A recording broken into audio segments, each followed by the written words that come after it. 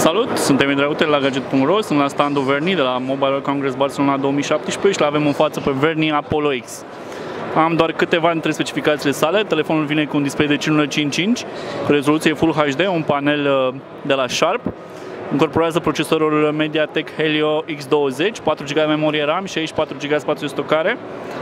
Camera frontală de 16 megapixeli, Uh, da, camera principală, uh, camera frontală, camera principală, mă scuzați, de 16 megapixeli, camera frontală de 5 megapixeli, are baterie de 3500 mAh și rulează Android în versiunea 7.1 Nougat. Sunt curios, observați, avem un Android nativ.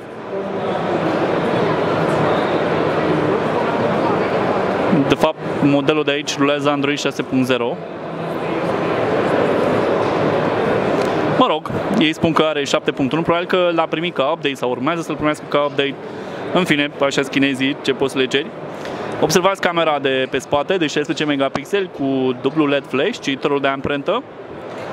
În partea superioară avem jack-urile 3.5 mm, în lateral dreapta power și reglarea volumului, la bază portul ce permite încărcarea bateriei de 3500 mAh și difuzorul smartphone-ului.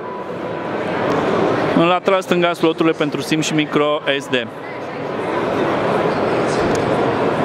Telefonul este foarte ok, mă rog, foarte ok ca... Um, m-am repezit puțin, este foarte ok ca soft, am mai testat telefoanele la Verni și nu au aplicații preinstalate, iar ei oferă un suport software uh, la nivel de firmware, cât și de update către versiunile noi de uh, Android uh, destul de bun față de alte companii chinezești și chiar față de unii producători realiști. Verni e un startup așa care a apărut anul trecut de Apollo X recunosc că nu știam mare lucru. Cred că a apărut uh, între timp modelul ăsta. Mulțumesc pentru atenție, o zi cât mai bună, la revedere!